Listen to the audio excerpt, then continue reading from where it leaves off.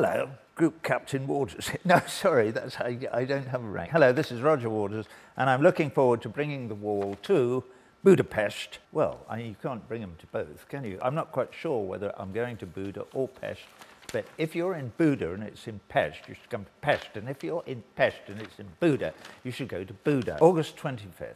See you there.